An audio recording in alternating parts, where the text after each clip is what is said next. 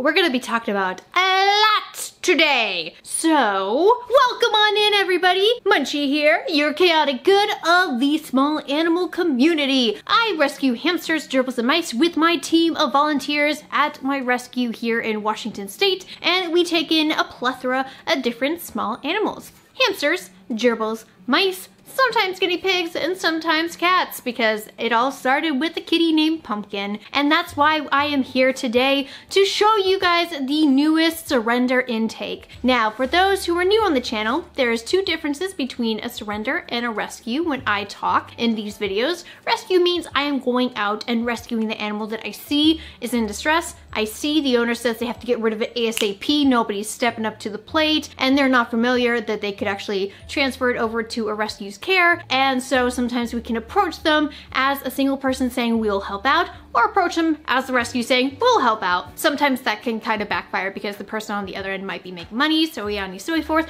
But today, I have a surrender intake where the person contacted the rescue after seeing us advertise online as being a small animal rescue in her area. So today is going to be talking about this situation that you're seeing actually behind me, and that's probably why I'm in a little bit of a distress right now. I get to share with you the story of two Syrian hamsters that we have come to call Lannister and Baratheon. I think they were perfect for what they look like, but let me talk about their situation. So we were contacted and the people said that they did all their research online and they tried to go for the most appropriate care for them.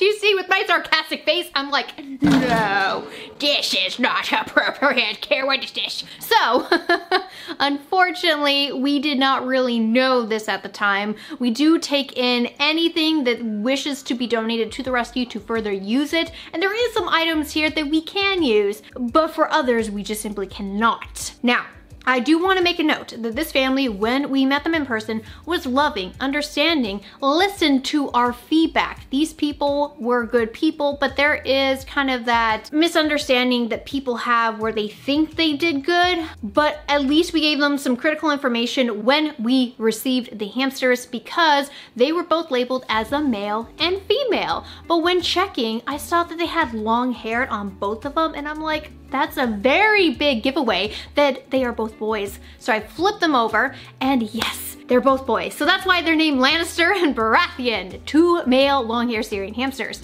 Unfortunately, sometimes people just are not aware that there's incorrect information on the internet being circulated, whether it be from people who think that they know best and are promoting smaller care than maybe the rest, which that kind of rhymed. There is also care online that's being pushed out by the people who actually make the enclosures and or the products of which they say, these are great for hamsters, gerbils and mice, woohoo! And then you come to find out, no, that's not correct. That's just false advertising so they can target a wide range of people who don't know any better. And the reason why they had to rehome them was they're moving out of state and for the area of which they were going to move into, it looks like they could not actually bring their small rodents with them to come live with them. And of course, during this hard time of 2020 through 2021, there is some people who have lost their homes and had to downsize or had to immediately move to an area and they tried to take into consideration all of their family members, including their animals,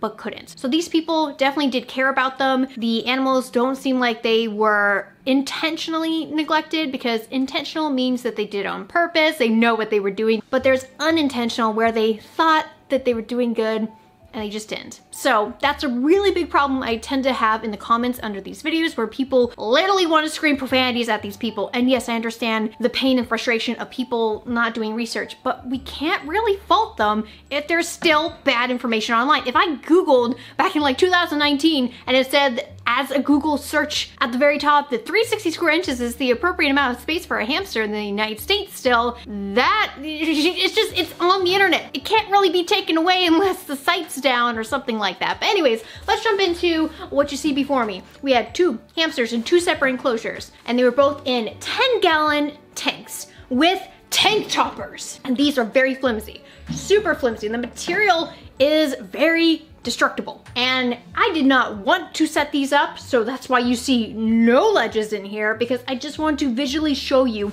what they came in. So now that you see that, I just want to take them down because you guys are aware that tank toppers are not appropriate. They cannot be having vertical space. They need horizontal. Vertical actually increases the dangers for small animals because they aren't climbing animals. And hamsters get thrown into these thinking that it provides them more space up above. And you really gotta be taking into consideration, you should have a bigger box in this. You shouldn't be having a height like this. They don't benefit from this. So we're taking this off, we're taking this off, and let's talk about just the base here. Now, they came with essential hamster and gerbil food. This is the food they said that the pet store where they got the hamsters from, which is a mom and pop type pet store, that's what they were feeding them. And so they thought, based off of the pet store's recommendation, Oxbow was the best option. I've already made a video discussing about this, but Oxbow is not safe to be using, at least for their hamster and gerbil formula, both the essentials and then the, I think it's Garden Select one, which is the other bag. But these are not acceptable because they contain hay and it just yeah, it's just a big mess. And it's not enough protein as a base. And hamsters have starved on it, which actually, now that we're discussing this here, Lannister is quite skinny. So is Baratheon, but Lannister was really skinny and these guys are supposed to be around four to five months old and they're tiny and skinny. Now, long-haired hamsters I have had in the past where they are kind of thin, but they're super big and fluffy for whatever reason, but they're not massive when it comes to their body mass. But knowing they're being fed this, it just puts into a perspective that more than likely they were not getting what they needed from this diet, therefore was not growing as intended. The biggest mistake hamster owners make because they're just not aware of these things. Both of them got seven inch flying saucer wheels and these are the wheel colors you see at PetSmart. So not Petco. Petco has the baby blue ones in the seven inch wheel size. This right here is not appropriate. Now in the United Kingdom and places in Europe, they no longer want to register uh, flying saucers as being appropriate. There's 12 to 14 inch flying saucer wheels or treadmill wheels in the United States and other places being sold, and you can use those for Syrians. And to me, I've used them and there is some Syrians that are way too big even for the 12 inch and they their weight just can't support that and they're actually curving upwards. Whereas usually if they are smaller Syrians, they can run straight right on this track here and stay at the bottom. But when they start going to the top, you have a wheel problem or you have a too big of a hamster problem. And then you have to just, you know, use a classic wheel because it gives you more space for them.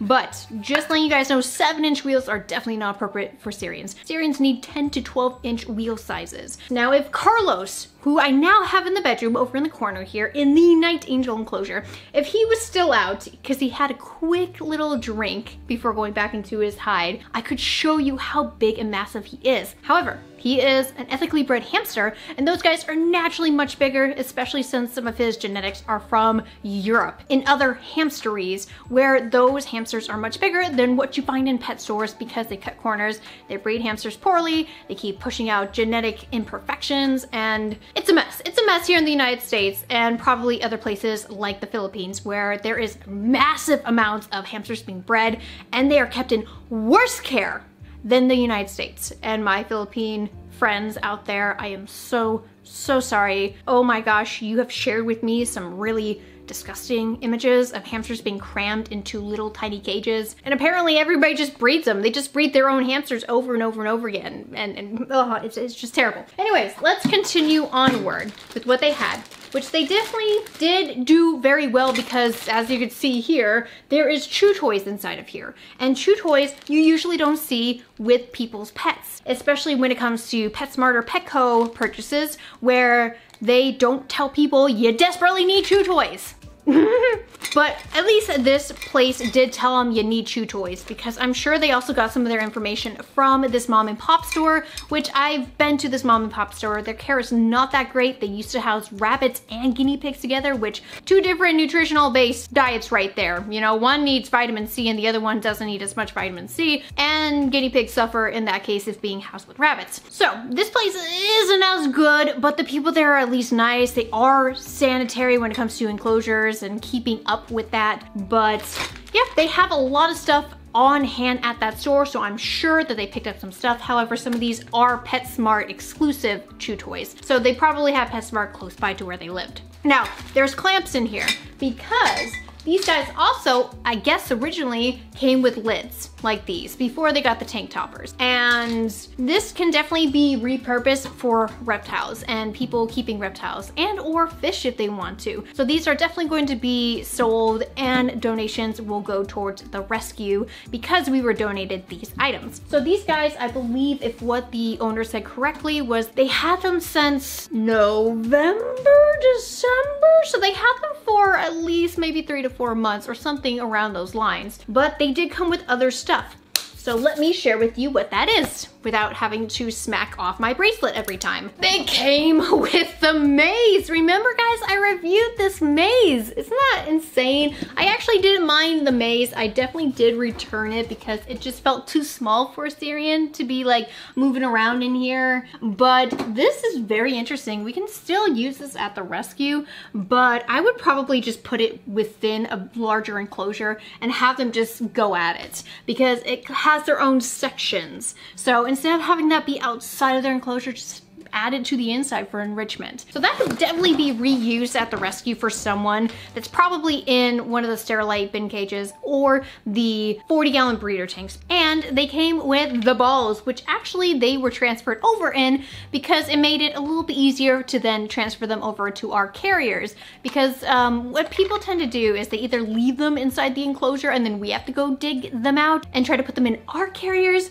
or we ask them nicely to just have them in a box or have them in something else where we can transfer them over to our carriers. Or just, if they're giving us like a carrier themselves, just put them in the carrier and that, that works out just well too. But you guys know that I have used balls in the past and I have never, ever, ever in my experience had an injury with balls. And of course, when people talk about balls, they say no more than like half an hour and they can't really see in them and they smack themselves into things. But playpens, much better. If you have personal care, use them. Unfortunately at the rescue, we are so full on space right now that we cannot use our playpen anymore. And I don't think we're ever going to use the playpen again because the amount of surrender inquiries we've been getting here in Washington state, because we're one of the few who actually takes in these animals, whereas other regional shelters will not and they will actually recommend people contact us. We're actually partnered with Seattle Humane Society, and we've also had people that had referrals from Auburn Humane Society, which is like fantastic. And so it's really cool that we have been partnered with other shelters and rescues private rescues just like us where we have recommended people go check them out. And just recently there was a ferret rescue in the state of Washington who has 200 ferrets and they have to find a new building to rent because their current commercial building I guess for whatever reason will not work out anymore and they have to find somewhere for their 200 ferrets to go to. And just hearing that they had 200 ferrets and these ferrets have not been adopted out because everybody keeps buying from a gosh darn pet store. And some of these are actually very neglected ferrets, so they have to remain there. They're kind of like sanctuary ferrets. It's just so devastating. And I really wish people would learn more about rescues and what we have to go through. And when I say we, I mean me and my team because there's people out there doing this and it's not just me. it's not just me collecting all these animals and then trying to find them homes. It's very frustrating when you're trying to work against the system where people keep pushing pet store hamsters, where I really wish people would just think adoption first and if you really can't find one, the last option obviously would be a pet store, but I really hope people's minds would be changed to look online, look at rescues and or ethical breeders who actually give a damn about where their animals are going and how you are supposed to appropriately raise them. Boom! Anyways, balls. I've actually only had one injury from a ball that wasn't moving and people say use them as hides. Definitely use them as little rat hides. They would love that, but hamsters I'm not gonna do because one of them tried climbing, one of them, Star, if you guys remember Star, and she had a slit right here and she got her toenails stuck as she was trying to climb it, which is, that's not, these aren't supposed to be inside enclosures. I don't like that. Tape, tape it up maybe, sure, but then they could chew on the tape. Glue it up, but glue it with appropriate glue. But then again, hamsters, they like going after stuff like silicone, so I don't know how successful that would be if you just glued every little crevice in these. I just say don't use them. just use them. So these are definitely going to be recycled at the rescue. We're not gonna use them. There was a point in my life where I'm like, okay, I need to give them more time and it has been successful in the past, but right now I just don't have enough time as a rescue to actually take all animals out and handle them for longer periods of time. But I'm so glad that we have foster homes now that they are helping with that and to work with specific animals that need more time outside their enclosures and with handling. So woo! Kudos to them. And lastly, I have not really dived into this right here. I did put all these inside of there because I just needed them to go away. So these I haven't touched yet, so I don't know exactly what's in here. We have stuff at the rescue that was already set up prior to them coming, and I was gonna make this video a lot sooner, so this video has actually been postponed due to the amount of increase at the rescue and just my personal life. I have not been able to just sit down in front of a camera, say hi to you guys, and actually show you what these guys came with. So we're kind of doing this together here. But um, this feels wet for some reason. Why? Were these water balls leaking? Because there's water balls in here, but it looks like we got some hides here. We got this. Now, even though the opening right here is not big enough for a Syrian hamster, there is an opening down here. I personally would not give this exact hide to Syrians. We use these for dwarf hamsters and Chinese hamsters, but for Syrians, if you guys ever have a smaller hide, and sometimes I just don't like seeing those hides, make sure that it has an open bottom so they can easily get out of it. If you have a closed off space, a hamster is gonna struggle in this and they might accidentally injure themselves in this. So definitely don't ever have something that has a closed off bottom and should be made for a dwarf hamster, not a Syrian. So yeah, just keep in mind. We got two very long water bottles that, yes, there's water in them and they've been leaking for God knows how long. Ah! How long have you been leaking in here? I guess maybe they just recently started leaking because they were actually like this inside the bag. And my bracelet fell off again. Okay, I hate that bracelet now. We got some treats in here. We got the munchies. it's me, Munchie Snacks. Ideal for rabbits, guinea pigs, hamsters, mice, and other small animals. Haven't really checked these out, but okay. Apple slices. That's pretty cool. Okay. I have to check the expiration dates for these because some people actually gift us donations and I checked the food and it says it expired like three, five months ago. So I'm like, oh, I can't use any of this. so we got some more. We got some papaya bites. Papaya is natural, but it does have sugar in it, so just give it to in moderation. Pineapple bites, same with pineapple. And these are bigger chunks too. So if you see stuff like coconut uh, slices, they have few sugars in them, so it's not like overloaded with sugars. But with stuff like this, definitely give in moderation. Like make sure it's just every once in a blue moon. I do not know when the camera shut off because I don't know where I left off. So panic munchie, here we go. Party sticks, hmm. We got willow sticks. Mmm. We got other willow sticks. Mmm. We got tropical adventure treat. Mmm. So that is that. And thank you guys so much for watching the intake of Lannister and Baratheon. Hopefully in this video I did share with you some of the images of them as well as some video of them. The boys are actually very not okay with touchy touchy. No touchy touchy pretty much. But they do seem to be very curious, especially Lannister. Lannister likes to come out and say, hey, hey, you got food, right? You got food. And Baratheon's like, I'm tired. I'm just gonna be in my like ramen hide that you currently have for me inside my enclosure. And oh, you got food? Okay, well, I'm a little bit nervous, but I'll come out. Oh, I don't like being handled. Oh, she's handling me. At the rescue, it's just always an adventure and it's always fun to learn about these guys and their personality. I can spend hours in there and waste my time just looking at them all. So thank you guys so much for watching today's video. If you liked it, hit like. If you'd like to leave a comment down below, you're welcome to do so in regards to this video or any topics discussed, and subscribe if you're new here and would like to become a part of the Munchkin family. Thank you so much for your contribute to the very end, and thank you so much for continuously supporting the channel. Have a great day. Ta-ta. Wait, what does this motion do? I don't want to insult anyone. I, I feel like I have a hat on, okay guys? Oh god, I have to over-explain. Bye!